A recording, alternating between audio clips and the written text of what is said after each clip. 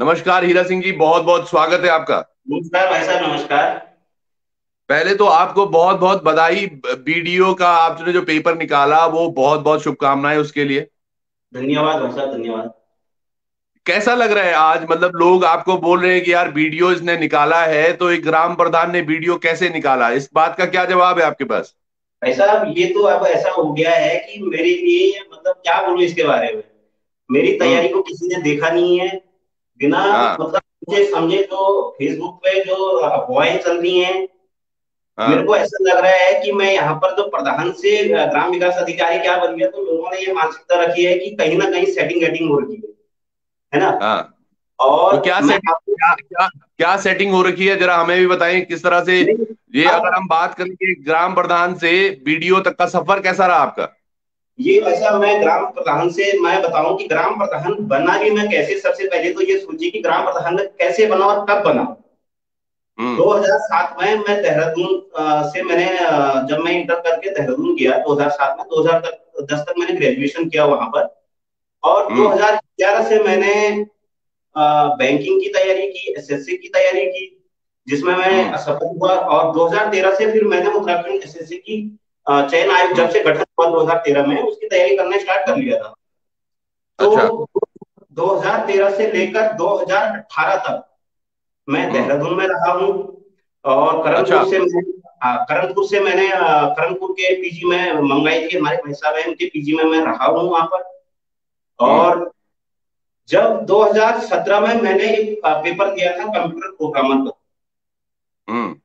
Paper जब मैंने दिया तो पेपर हमारा उसमें जो मेरी अ, मेरे मार्क्स थे 69.5 मार्क्स थे मेरे। और अच्छा। उसके बाद वो भर्ती हमारा कोर्ट में चला गया है। और आज तक भी 2017 से लेकर अभी तक वो कोर्ट में है। अभी तक उस पर हम्म। फैसला नहीं आया है।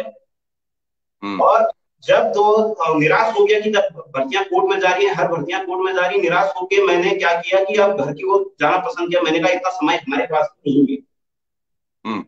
एक एक चीज़ बताइए प्रधान जी अब प्रधान जी कहें या बीडीओ साहब कहें दोनों अलग अलग चीज़ें हैं जो आपके साथ जुड़ चुकी हैं। तो हीरा सिंह हीरा सिंह नेगी जी बात यहाँ पर अ, कोई अ, एक कमेंट आ रहा है कि गुरुजी यूके एसएससी का गठन कब हुआ था? कुछ इसके बारे में आप अगर जानकारी दें तो 2014 में कि ये गठन हुआ है।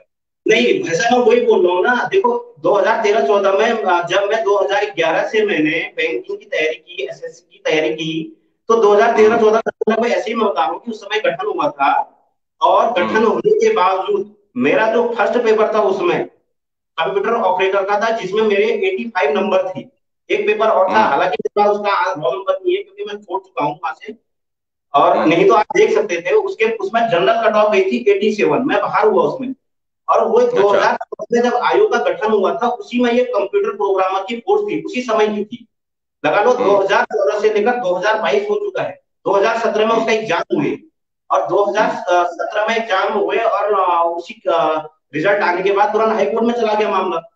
मामला जब हाईकोर्ट हीरा में हीरा सिंह जी थोड़ा इस चीज़ को इस तरह से समझते हैं। लोगों का एक्चुअली दर्द क्या है कि एक ग्राम प्रधान का कैसे हो गया? अब आपने निसंदेह आप दिख भी रहे हैं और आप सामने भी आए हैं तो आपने मेहनत भी की होगी। पर जो अनियमितताएँ हैं आज यूके ट्रिपल एस सी में जो एग्ज़ाम के दौरान अनियमितताएँ पाई गई जो आपकी आपकी वजह से शिफ्ट कौन सी शिफ्ट में थे आप?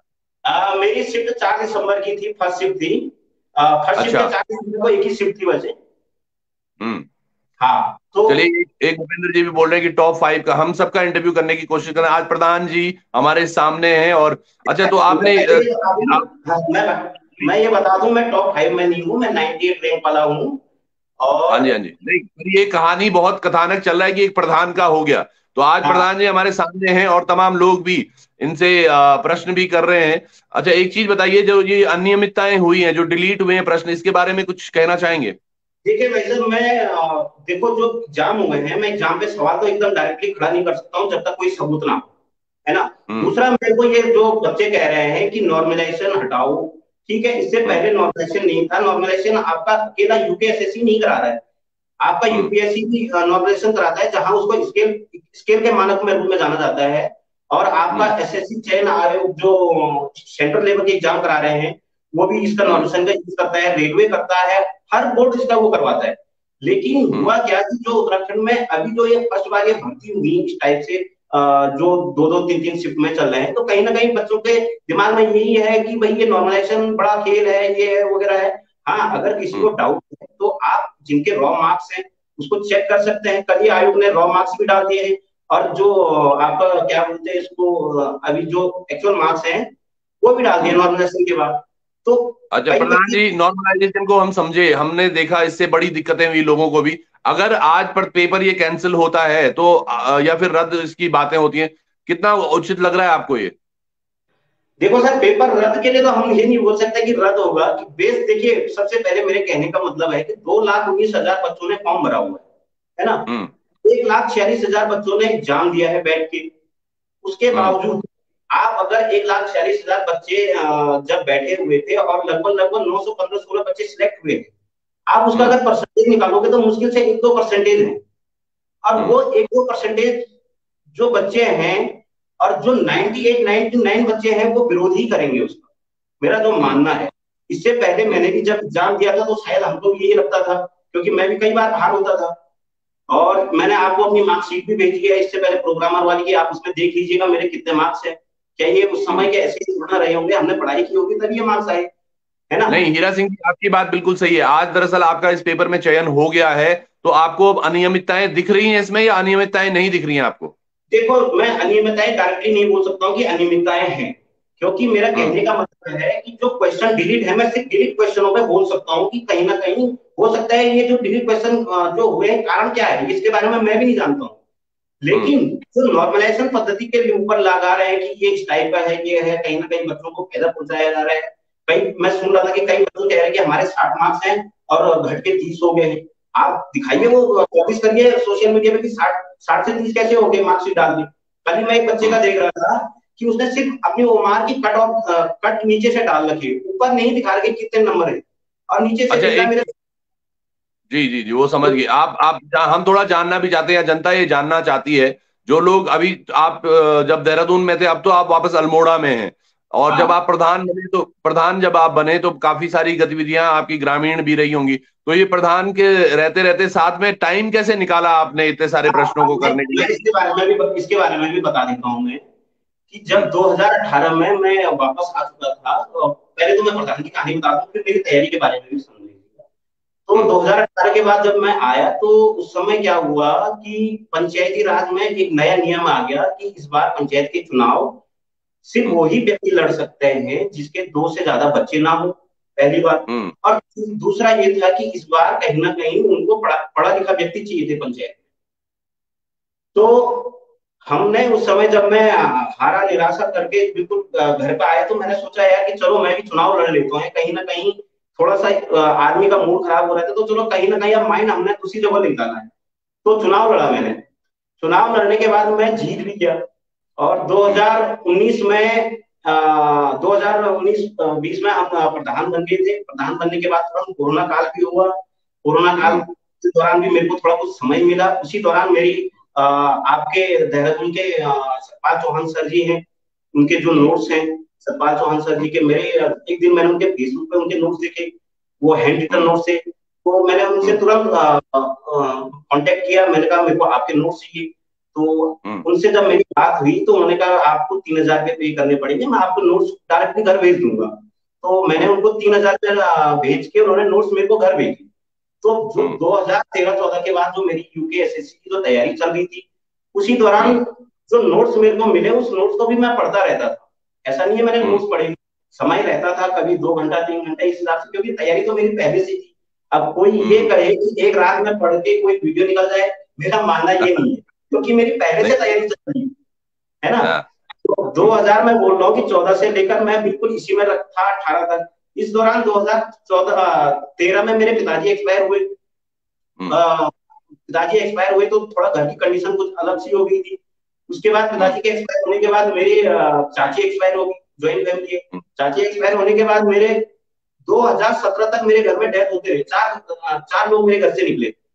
उसके बाद एक प्रधान जी प्रधान जी यहाँ पर यहाँ पर लोग क्या पूछ रहे हैं कि आप थोड़ा अगर किताबों के बारे में बता पाए कि आपने हिंदी के लिए कौन सी किताब रेफर की थी या फिर अन्य सब्जेक्ट के लिए?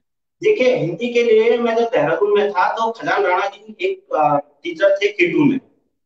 हम्म। तो उनके जो नोट्स हमने वहाँ पर तैयारी की है जब वो कर्नपुर के जो गलियाँ हैं बीच वाले दो दो खजान राणा जी थे वहाँ पर एक खजान राणा जी और एक दूसरे भी खजान थे वो भी मैथ पढ़ाते थे।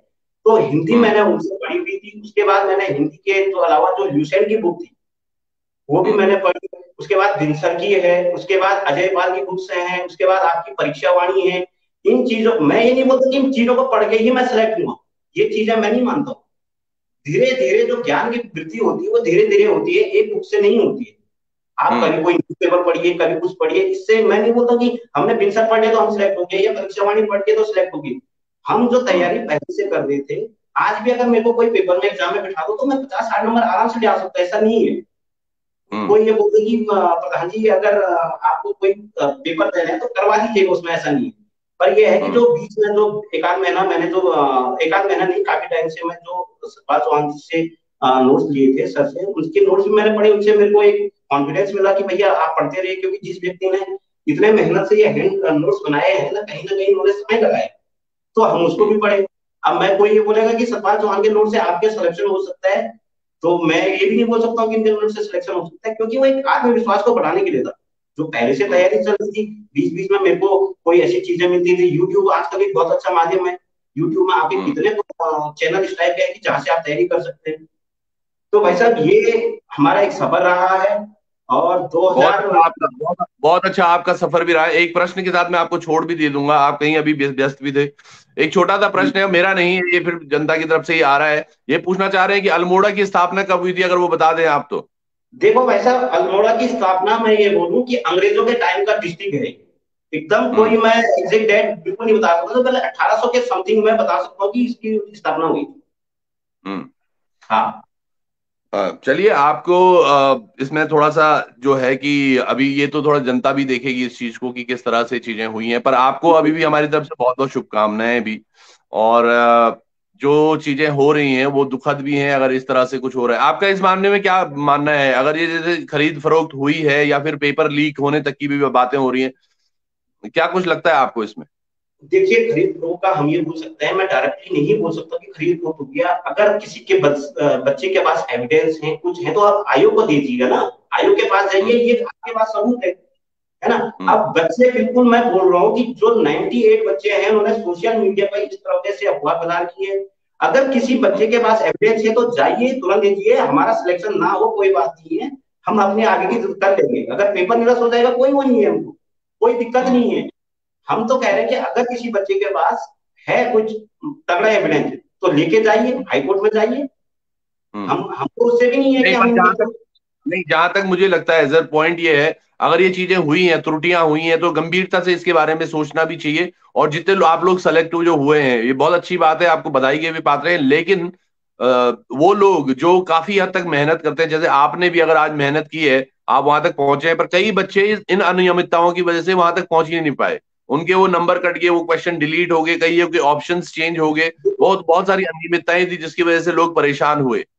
मेरा मेरा ऐसा कहने का मतलब है जो बच्चे आज फेसबुक के माध्यम से बोले मेरा पॉइंट टू फाइव से मेरा वन नंबर से मेरे दो नंबर से रुके मेरे कहने का मतलब है एक चीज़ बताइएगा आप मुझे यूके यूके यूके जी। मेरे कहने का मतलब है कि वो बच्चे अगर जो बोल रहे हैं मैं आज पॉइंट टू फाइव से एक नंबर से दो नंबर से रुक गया अगर वो बच्चे सिलेक्ट हुए रहते क्या ये आरोप लगाते? उनके पीछे वाले फिर आरोप लगाते कहीं ना कहीं पॉइंट टू फाइव वाला एक दो नंबर वाला फिर उनके पीछे होते है ना? मैं तो आपको बताता हूँ परसों हमारे साथ यशवंत यशपाल एक चौहान एक लड़के थे एक एक युवा था हमारे साथ जिसने बोला उसका सिलेक्शन हो रखा था लेकिन वो भी परेशान था। वो परेशान हम्म। इसलिए था कि जो नॉर्मलाइजेशन के नाम पर उनकी जो मार्क्स इधर ऊपर नीचे हुए हैं उसमें पंगा हुआ। खैर एक चीज़ मैं और पूछना चाहूँगा कि ये दरअसल क्या है ये पूरा उत्तराखंड के जीके का सवाल है। किस तरह से जीके होनी चाहिए? एक बड़ा प्रश्न इन्होंने जैसे अल्मोड़ा का आप काफ़ी क्लोज थे 1891 में सिलेक्शन अल्मोड़ा बना था। और यहाँ पर बड़े प्रश्न क्या आप वो प्रश्न लेना चाहोगे कुछ?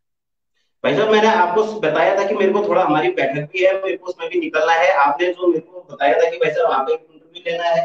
तो अगर बाद में ले सकते हैं तो बाद क्योंकि मुझे भी थोड़ा समय की कमी है मेरे को भी निकलना है अभी। हमारी बैठक है आज अपने ब्लॉग में तो मेरे को वही निकलना है। तो आप बात चलिए आप बिल्कुल बिल्कुल आप ज़रूर करेंगे और बहुत बहुत शुभकामनाएँ आपको भी। और जो चीज़ें आपने आज बताई रखी अपने सामने आप कम से कम सामने आए इस चीज़ को लेकर एक बहुत बड़ी बात है। इस पर और भी तथ्यों पर हम बात करना ज़रूर चाहेंगे। आप ज़रूर इन चीज़ों पर प्रिपेयर होकर रखिएगा कि अगर हम कुछ क्वेश्चन आयर करके आते हैं क्योंकि जो डाउट है ना सर ये डाउट तभी निकलेगा अगर तो कोई व्यक्ति है। मैं आपको एक चीज़ बता रहा डाउट के लिए आप अकेले ऐसे किसी बंदे पे नहीं कर सकते हैं जैसे जो बच्चे कह रहे हैं कि इनसे क्वेश्चन पूछिए। अगर वही बच्चे मेरे जगह होते हैं क्या हम उनसे क्वेश्चन पूछते हैं? एक बात की बात है आज आप जो ये बच्चे क्वेश्चन पूछ रहे हैं कोई इनका अधिकार नहीं है कि क्वेश्चन पूछने का पहली बात हुई हाँ। हम बता रहे हैं हम फिर भी समय दे रहे हैं। किसी बच्चे को आप नहीं बोल सकते कि आप बताइए फिर मैं ये कोई जजमेंट करने का कोई वो नहीं है माना किससे किसी भी बच्चे का वो बात बिल्कुल आप सही कह रहे हैं। चलिए आपने समय दिया अपना बहुत बहुत धन्यवाद प्रधान जी और आगे के लिए बहुत बहुत आपको शुभकामनाएँ भी और फिर बात करते हैं आपसे। धन्यवाद जी धन्यवाद।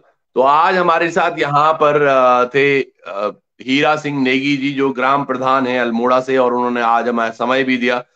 काफ़ी सारी चीज़ें उनके साथ बैठकर हमने क्लियर की कि एक ग्राम प्रधान किस तरह से देहरादून में कुछ समय रहकर और अब वो एक स्थापित तरीके से वीडियो का उन्होंने पेपर भी निकाल दिया कितनी सारी चीज़ें जो अनियमितताएँ हुई हैं, उस पर उन्होंने बहुत देर तक तो बात नहीं हुई। कुछ एक आध प्रश्न हमने पूछे, कुछ के जवाब दिए भी उन्होंने और कुछ के लिए उन्होंने कहा कि उन्हें अभी निकलना होगा, उन्होंने अभी जाना होगा कहीं। तो ये सारी जो चीज़ें हैं, ये होती रहेंगी इसी तरह से और हमारी कोशिश यही रहेगी कि टॉप फाइव तक हम ज़रूर पहुँचे और उनसे बात ज़रूर करें। कुछ ही दिनों में हम प्लान आउट कर रहे हैं कि हर उस गाँव में जाएँगे जहाँ क्योंकि फ़ोन नंबर नहीं मिल पा रहे टॉपर्स के। तो जो ही ये फ़ोन नंबर्स मिलते हैं या फिर हम सीधे अगर गाँव ही अब जाएँगे तो गाँव जाकर ही आपकी ज़रूर वार्ता कराएँगे उन टॉपर्स से, उन्होंने कितनी मेहनत की है और कौन कौन सी किताबें उन्होंने फॉलो की हैं। नीरज जी कह रहे हैं कि चौहान जी, आप सिर्फ़ एक पक्ष देकर रिपोर्टिंग नीरज सिलोरी जी, हमने दोनों पक्ष देखे। आज देखिए, प्रधान जी भी हमारे साथ थे, हमारे साथ परसों एक बच्चा वो था जो सिलेक्शन हो गया था और एक बच्चा वो था जिसका सिलेक्शन नहीं हुआ था।